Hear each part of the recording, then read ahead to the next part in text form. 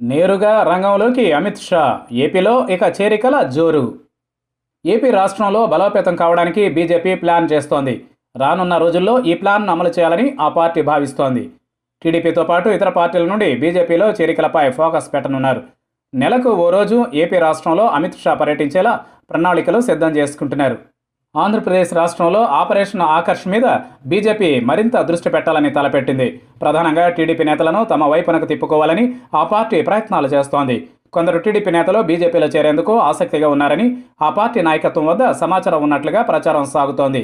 అయినా కూడా పెద్దగా చేరికలు లేకపోవడంపై బీజేపీ నాయకత్వం ఏపీ రాష్ట్ర బీజేపీ నేతలపై కొంత అసంతృప్తితో ఉన్నారని సమాచారం. ఈ తరుణంలోనే వచ్చే ఏడాది ఫిబ్రవరి నాటికి టీడీపీతో పాటు ఇతర పార్టీల నుండి వచ్చే వారిని చేర్చుకునేలా ఆ పార్టీ నాయకత్వం వ్యూహరచన చేస్తోంది. ప్రధానంగా టీడీపీ నాయకత్వంపై బీజేపీ గురిపెట్టింది.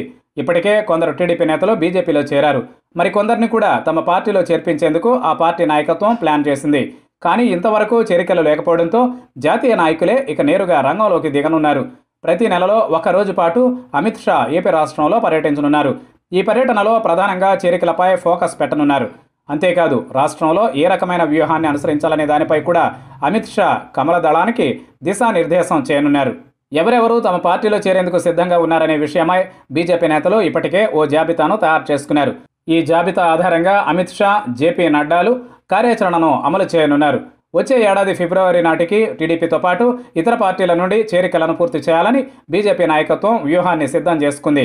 ఈ వ్యూహాన్ని అమలు చేయడమే ఇక తరువాయి. ఏడాది క్రితం బీజేపీ ఏపీ రాష్ట్ర అధ్యక్షుడిగా కన్నా లక్ష్మీనారాయణ బాధ్యతలు స్వీకరించారు.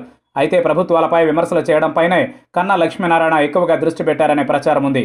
కానీ పార్టీని బలోపేతం చేసే దిశగా ఆయన తీసుకున్న చర్యలు లేవనే అభిప్రాయాలు కూడా లేకపోలేదు.